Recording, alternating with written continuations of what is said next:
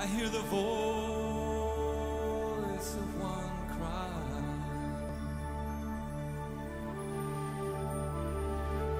I hear the voice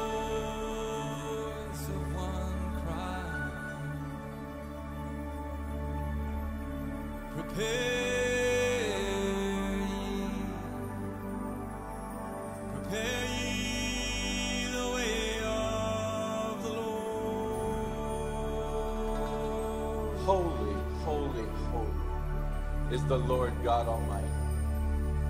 Make his path straight.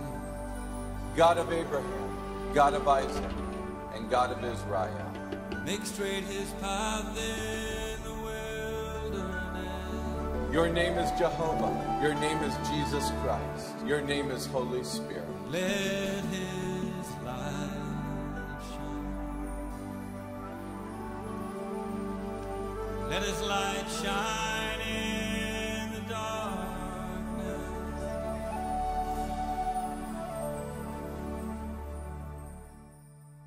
Child of God, to The Gospel is the Power.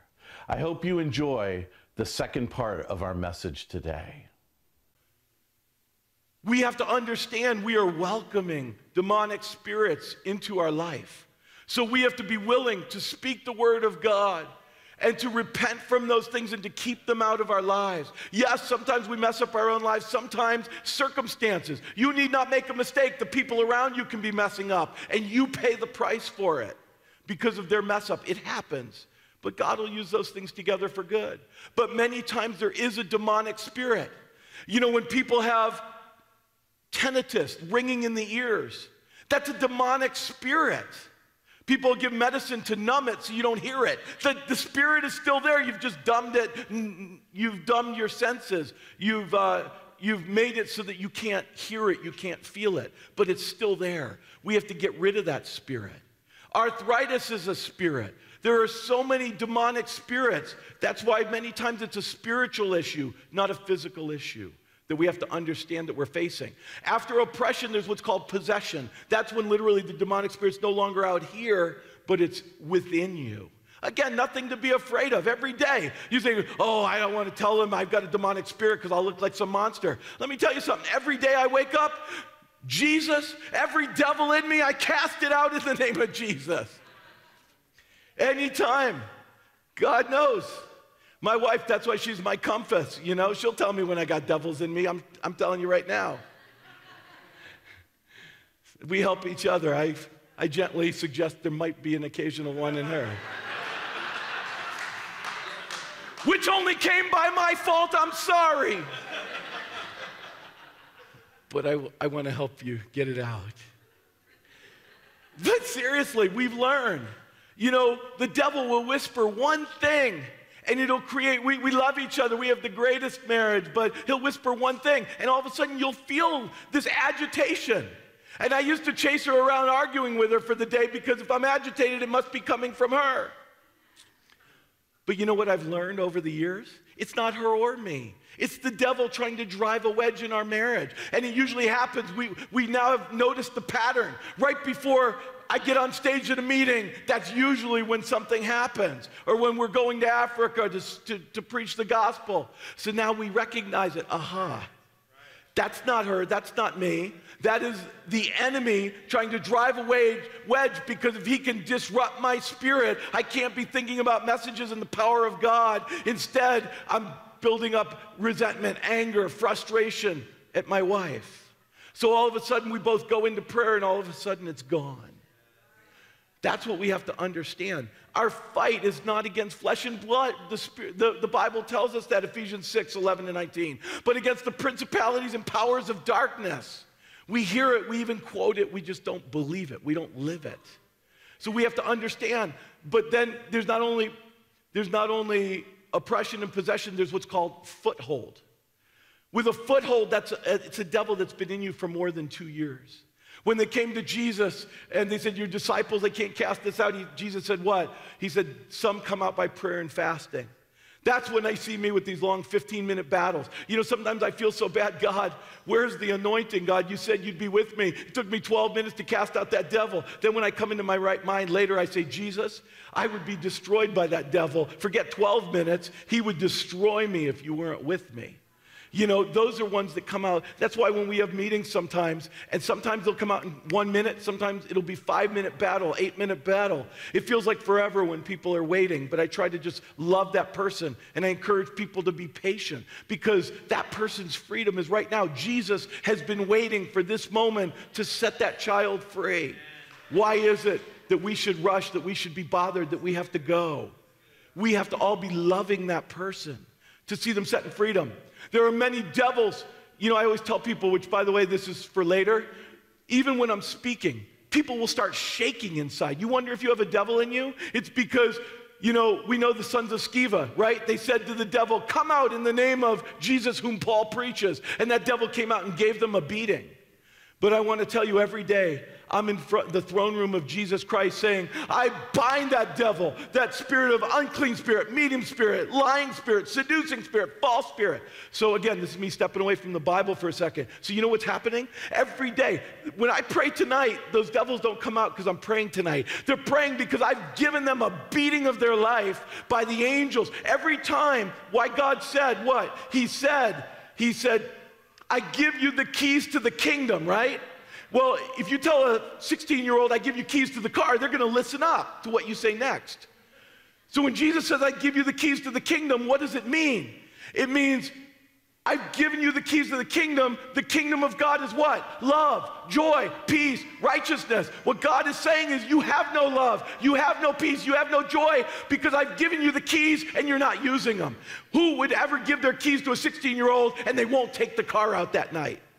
It doesn't happen right? All the 16 year olds said amen.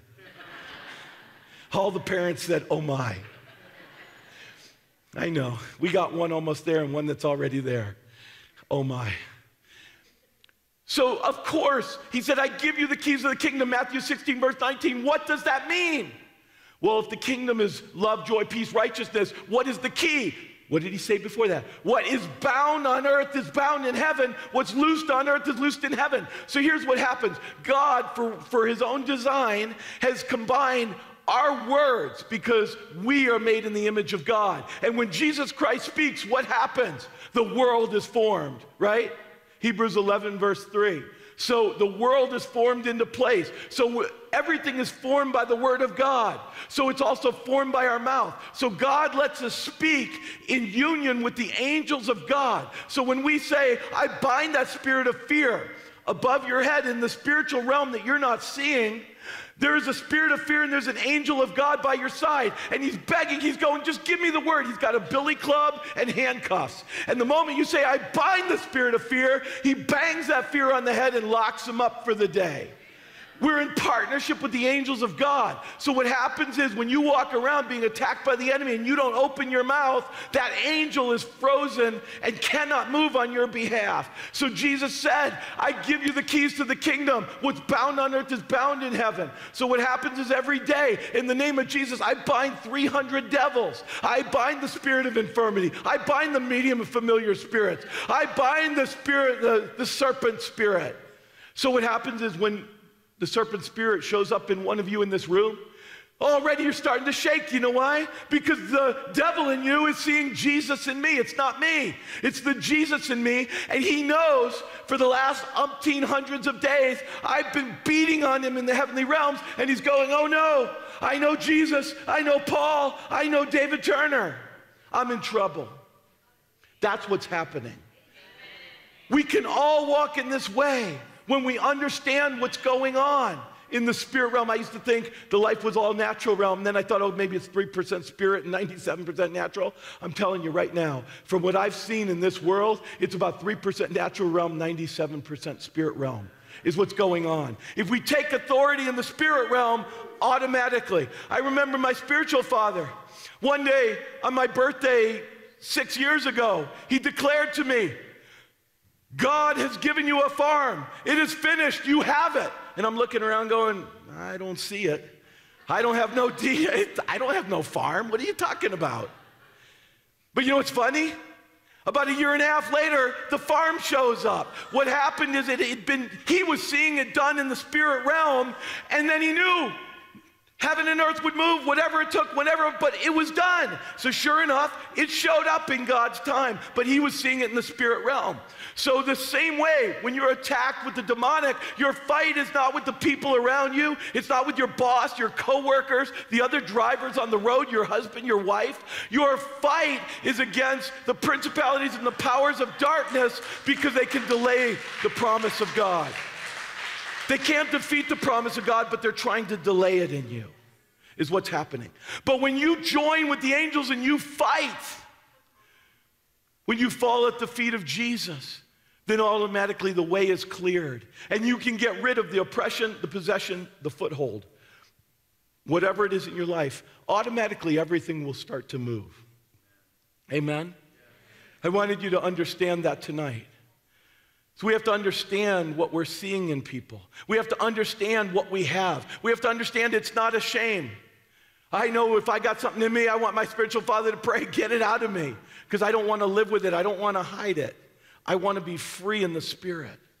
Right? When we say he, the sun sets free is free indeed. When we say where the spirit of the Lord is, there is freedom. These are not platitudes to hang a beautiful plaque on the wall. They look nice there, but they don't do you any good. But when you put it in your heart, and you start to live it and you start to speak it, that's when the kingdom of God comes in power. Mark 9, verse 1, Jesus said. Amen? This man in the tombs, I knew we'd get back there soon. This man in the tombs, praise the Lord. We got to take Uber to get back to the center of this message. it's a long way down the road. Hallelujah. But I wanted you to understand that tonight. There's no mystery. God has unfolded every one of these things. That's why Jesus said, Hosea 4, verse 6, he said, My people perish for lack of knowledge. Every one of these things he's put in front of us to understand. Every one of these things he's put in front of us to have the victory. But it's like you're the quarterback of the team. You've been paid this big salary, you're on the team, but you never bother to read the playbook. And then we wonder why we ain't going to make it on the field very long. Amen? It's all in the book. Hallelujah. So, this man in Mark 5, verse 1 to 20, when Jesus comes to this man, he's crying out in the tombs, he's in chains. The Bible says in 2 Corinthians chapter 4, verse 4, the Bible says that the God of this age has blinded the eyes of the unbelievers to the glorious light of the gospel of Jesus Christ. So, what's happening is the eyes of even believers are being blinded to Jesus' glory and power. You know, everywhere I go, even people don't believe Jesus, they believe the devil. It's very easy for people to know the devil, the devil, the devil. But when you say Jesus, they look at you like, what are you talking about? And that's Christians. We give too much glory and too much power to the enemy. We have to recognize he's there. We have to understand he's there, but our eyes have to be open to the power of Jesus, which is the greatest power. Yeah. Amen. Colossians 1:13. It says that Jesus is taking us from darkness to the marvelous light. Amen. John 8:36. It says he who the son sets free is free indeed. When we are set in freedom, we receive that freedom we keep that freedom. We have the legal right. I'll always pray if you've heard me before, devil, I adjure you, you have no legal right. It's like a law room. It is against the law in the heavenly realm for a person, for the devil, to not flee when faced with the blood of Jesus. That's like if you've ever played Monopoly, blood of Jesus is your get out of jail free card. Amen?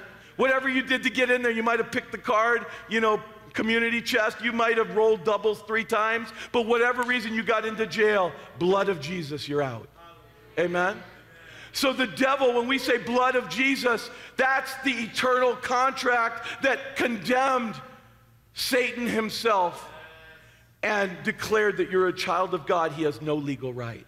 If he has no legal right, why should we stand? Why should we allow him in when he has no legal right? If you own your property and someone tries to take it from you and you have the legal rights to that property. Are you going to let them come squat on your property and steal your land? You're going to take him to court that you have no legal right. Well, tonight, when you have that in you, you take the devil to the legal court of Jesus Christ and say, Jesus, you are the righteous judge. I hold up my ownership deed, which is called faith in you.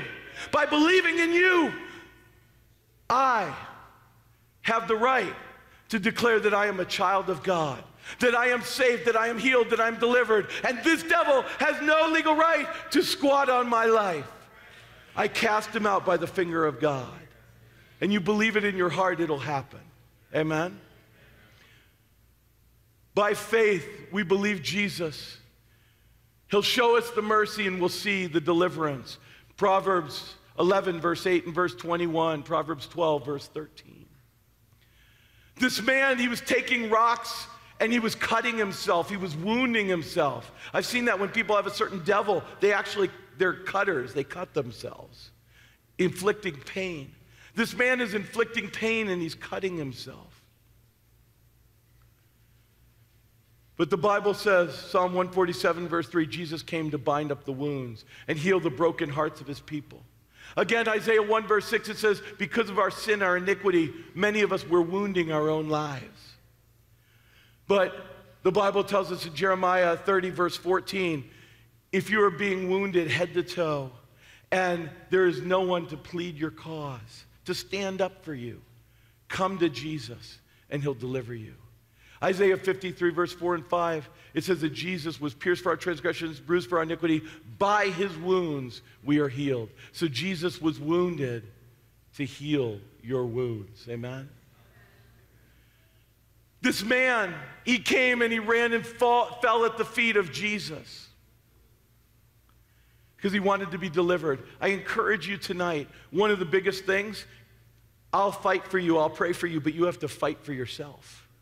You have to join. When we join together, the devil can't stand. If I'm fighting by myself, it takes longer. It'll still happen. But when you fight for your freedom in Jesus, you can overtake that enemy. Amen? This man fell at the feet of Jesus.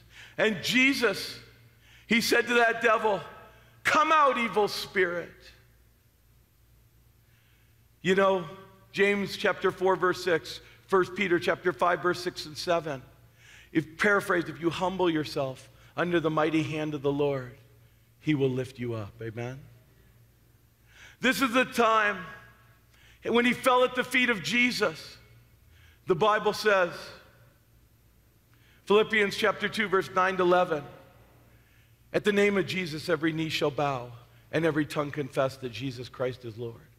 Acts chapter 4, verse 12. The Bible says there's no name above the earth, below the earth, or on the earth that saves apart from the name of Jesus. That's why we have to call Jesus, Jesus, Jesus.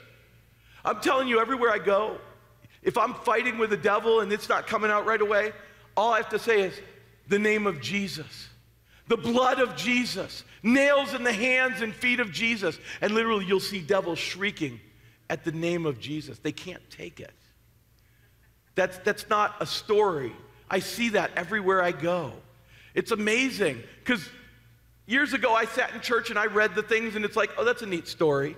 It's real. I'm telling you today, when I'm praying, many times you'll see, my wife will tell you. I always say, if your wife's in the room, anything you say, everyone knows it's true. Because if it wasn't, she'd stand up and say, no, it was two feet to the left. No, there were 122 people, not 124. So I appreciate that because if she's here, I know you all know I'm telling the truth. Amen? All the married men said amen. all the unmarried guys are like, what? You'll understand one day. You'll think back to this moment. What was that? yes, you'll all get a helper too. Praise the Lord. One flesh. We have a new marriage show coming out. It's going to be on TV, Jennifer and I. It's called One Flesh. It looks a little more like a three legged race sometimes, but uh, nonetheless, it's one flesh. It's, it's wonderful. Praise the Lord. So we have to understand Jesus Every knee bows at the name of Jesus. So this man comes and he falls at the feet. The man wants to be delivered, but the devil doesn't want to be delivered. But this is the time the devil said, I am Legion, when Jesus said, What is your name? Legion means 6,000 devils. Imagine there's 6,000 devils in this man. I feel like there's a few I've faced that feel like 6,000 devils. 6,000 devils in him. You know, there were three prayers that day. The, the devil is saying, Jesus, what do you want with me? Don't send me away. Send me into the pigs. He's, they're begging to be sent into the pigs. You've got the prayer of the people in that town. They're so busy being consumed by when they, they go into the pigs and they go over the cliff, they had a financial loss. So they're praying, Jesus, depart from this place. But then you've got the man who was demon possessed, cutting himself, wounding himself, just out of his mind in the tombs, alone and lonely. And he's begging, Jesus, let me follow you. Child of God, where are you today? Which one of those is your prayers?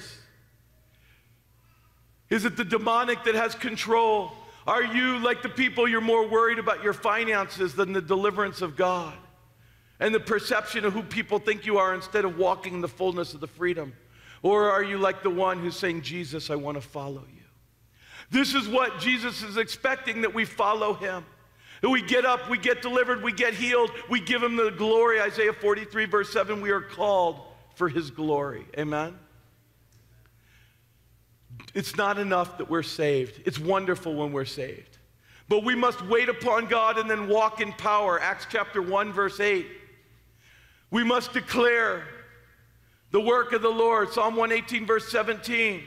You will live and not die and proclaim what the Lord has done for you. When He delivers you, when He heals you, we must proclaim His glory.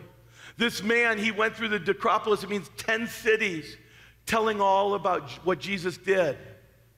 So that when Jesus came, he was known throughout those cities, those places. So many people came and believed Jesus because of this man. When we're delivered, when we're set free, this has to be our heart's cry. That's the only reason I'm here. That's the only reason I went. I saw the miracles of Jesus in my own life. It took it from a walk of believing and sitting in church and doing the right things to I know Jesus. He is the living God. I waited on him. I walked in his power. I declare his gospel all over the world. I am not an unusual one. I am no different than anybody else, just taking up the word of God and walking in the fullness of what He has told us to do. Amen? So, the same way, I want to tell you, child of God, that your deliverance, where the Spirit of the Lord is, there is freedom, is here tonight. Whatever you're facing, whatever you're going through, like this man, you might be lonely, wounded, it may be a depression. There are some people, when I speak to them, I travel all over that have demonic where literally they're being feel like someone's strangling them at night like they're getting choked. There are some people that literally get held down on their bed like they can't breathe they're trying to scream for help and no, nothing's coming out. You may be like that. The demonic in you may be a little less subtle. Some people you just start shaking. If you're shaking tonight you need to come up here tonight. It means the devil's already scared. He's about to lose his home you need to come up if that's you. The other night, there was one girl at our youth meeting here, and I walked by and she just started trembling. Right there, ah, that's it, devil, you gave it up. Now I already know you're there. We cast it out. She was delivered. We need not be ashamed. We believe and we'll see it.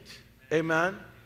So, whatever it is, sometimes the enemy is speaking voices to you. Then we need to pray and get that out. I don't want you to make something where there's not. If you don't have it, that's great tonight. And we're going to pray for a few healing things. But mostly tonight, people need to be set in freedom. And I'm going to see who that is. And we're going to see that freedom come and the devils depart. Amen? Amen? But in your life, if you get migraines, that is a demonic spirit. If you're always fighting migraines, I pray people never see migraines again because I don't give medicine to dull it. I cast the devil out. The devil never attacks them again. They never see migraines. Amen? So if you're not sure, there'll be a time I'll ask. And you can come and I could just, I'll tell you, no, you don't have anything. But it's not like, oh, I had one bad dream two weeks ago. That's not demonic. If, you, if people come thinking that, what happens is the enemy uses that. I call it throwing in shills. It's like there's so many people I got to get through to get through the ones who really need it that it actually deflects what's going on. So I want you to come when you really know you have the demonic. If you don't, like I say, oh, I had one bad dream, I just want him to pray for me. Hold off on that for a few minutes. Let others come. But when you know, if you live in constant fear, if you can't breathe, asthma is a demonic spirit. So many people I pray for, so they get instantly set free all the years on inhalers and breathing apparatus because literally it's a demonic spirit in your lungs. The moment I cast it out, all of a sudden people, you can breathe. People go, it's a miracle. Yes, it is a miracle, but all it is is a casting out of the devil, the demonic that has had his way with you. And this is the time tonight we say no more. The moment I've been, I was in a church in Boston Oh my gosh, there were so many devils, and the pastor was scared to death afterwards because most of the devils were in the leadership of the church. And, and uh, he, I come into his office afterwards. He's half excited, but he's going, Oh my God, David, he goes, What do I do? I'm so scared. All the devils are in all my leaders. I said, Pastor, the time for you to be scared was before when they had all the devils. Now they're set free. What are you afraid of? Now they can start to do the work of the Lord. And isn't that like how we are sometimes? When we have the sickness, we're not afraid. When it's gone, now we're afraid. Oh my God, where did that devil go? Well, I don't know, but let me just tell you this he's not in you anymore, so you should be a lot happier. Praise the Lord. You got to be careful. I used to say, people would, I went to a Baptist church and devils started coming out of people. They don't believe in that. And, uh, as they did after that meeting. They all started, I got hundreds of letters, people writing me, when those devils come out, where do they go? First few, I had fun when I got them. I said to whoever's sitting in the back row. but every time I go there, there's no one in the back. But then I started to, I got a little more serious. I told them, actually, they come out of the people and they go, they go to my company in Phoenix, Arizona at SunTree which unfortunately was a lot of the truth. And then because I said it, it was definitely the truth. But uh, no, we send those devils straight to the feet of Jesus, never to touch you again. We have the authority, and you have the right as a child of God to walk in freedom. Amen? Hallelujah. Hallelujah. Thank you, Jesus. Thank you, Jesus. So be encouraged tonight because how Jesus came for this demon possessed man in the tombs, the same way he's coming for you tonight. Each one of you individually, whosoever needs to be set in freedom, you can have your freedom tonight so that you may become a witness for Jesus Christ. Somebody say, Amen. Somebody.